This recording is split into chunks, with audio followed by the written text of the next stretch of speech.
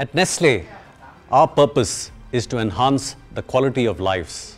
And we do this through our core business philosophy of creating shared value. Addressing the challenges of women's empowerment, equal education opportunities, and gender equality at the workplace is one of the fundamental ways to create shared value.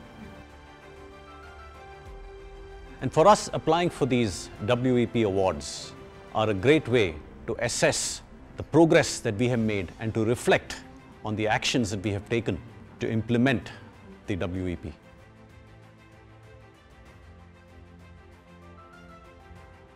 Thực sự tôi cũng đã có cái chia sẻ à, khi làm doanh nhân, mà nhất là tôi trong ngành thực phẩm và tôi đã có câu slogan cho ngành của mình là hãy làm mà ly sữa cho trẻ em bằng trái tim và tấm lòng người mẹ. Là làm một doanh nhân thì họ phải tiếp cận và cái tính chuyên môn của nghề nghiệp của mình.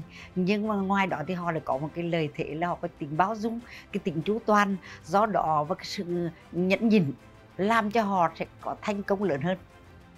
Khi mà chấm điểm xanh sạch đẹp thì cái doanh nhân nào mà có nữ ấy, cái lĩnh vực nào có nữ thì đều được vượt trội điều đấy. Và đó là cái thành công của tôi.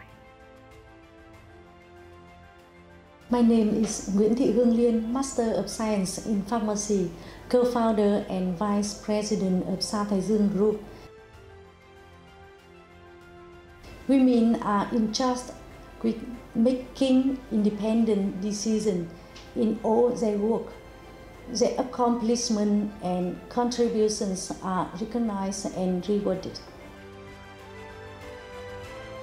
I believe that women be provided with the opportunity to fully develop their potential, have a great uh, positive impact in creating happiness all around and sustainable global development.